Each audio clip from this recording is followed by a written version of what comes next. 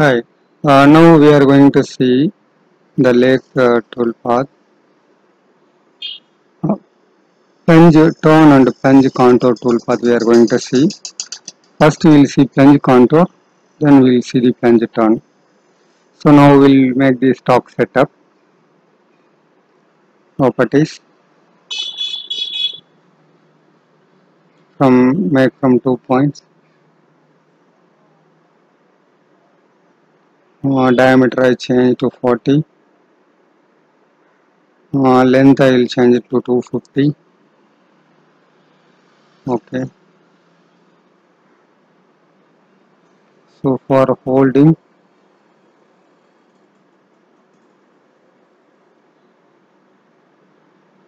okay review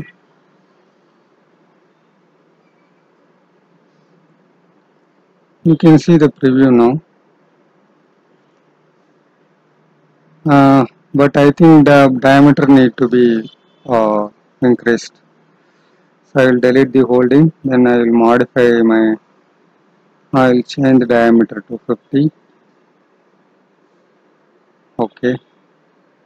Now it is okay.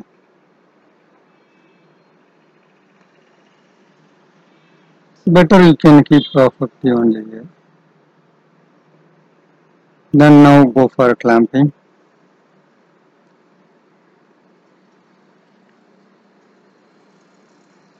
okay. I'll select another point now. Okay. Now now the question is the job is little bigger. So it need to be supported. So I am just going to add the tailstock here so the position uh, so if you see exactly uh, the center bit must have be already are drilled here. Then only you can position the uh, correctly. So assuming that uh, we have done already uh, the center bit. Okay we'll see in the top view. Uh, first of all we'll machine. So I'll go here so this is the contour cycle. Look like a, a pattern repeat cycle. Uh, start point from here to so here okay.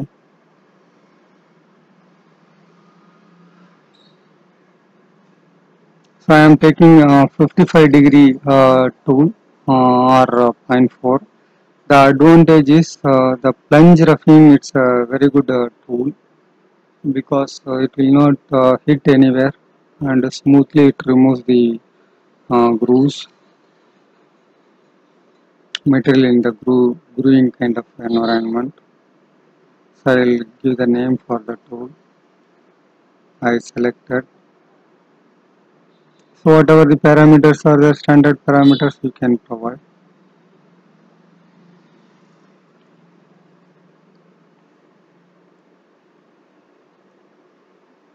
So depth value you can give here, offset distance. The same all other parameters are accepted. You want to keep stock you can keep. So minimum cut is 2 mm.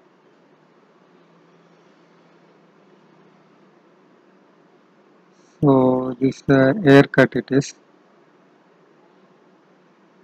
You can switch on lead in lead out. Actually we need to plunge here. So lead in angle 135 here it will be a good so in plunge parameter you need to select the second one okay accept so now you can see that smoothly it has uh, generated the tool path. so you can just backplot and see how it is look like while cutting so when you are receiving some uh, cost casting uh, only a small amount of material is needed to be removed to finish. So in that situation you can use this uh, contour cycle uh, contouring method so that uh, so this is the lathe rough contour cycle okay? Lathe rough contour now we have seen this all other parameters similar to the previously what we have seen. Here the tool selection and method. And I added one more tailstock, nothing. Remaining things are similar, are same as uh, previous. Uh, now I will delete this toolpath. We will go for uh, plunge turn we are, we are going to take.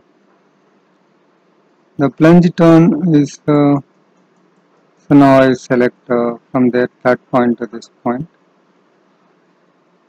So for this tool path, uh, tool uh, should be a flat and, and, and otherwise so you can see that the tool should be a flat so here if it is flat means it will not accept because uh, it's a profile no? So we need to so you can see that many parameters not visible here.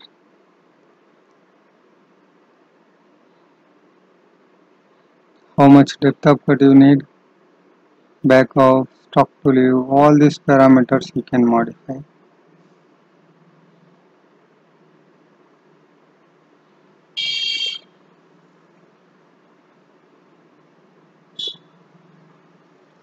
in depth you can modify. The remaining cutting methods exact. You can give feed rates uh, here. Mm, all the feed rates. If you want a modification in the uh, original feed rate you can provide here. So it's mm per revolution or mm per minute. Okay? You say okay now you can see that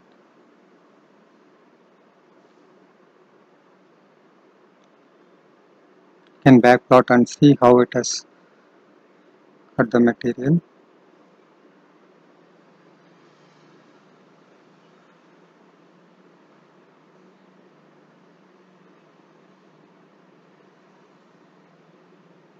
This is the plunge it turn tool path okay. So next tool path is the prime tool path prime turning tool path this to create tool path for the uh, for Sandvik uh,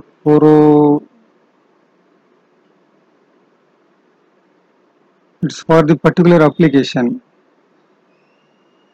So now we are not uh, going to cover this uh, uh, these two things. So so the left out is the uh, threading tool path so we'll see only thread tool path so can cycle and the thread tool path only we are going to do. So first we will see the thread tool path then we will see the can tool path thank you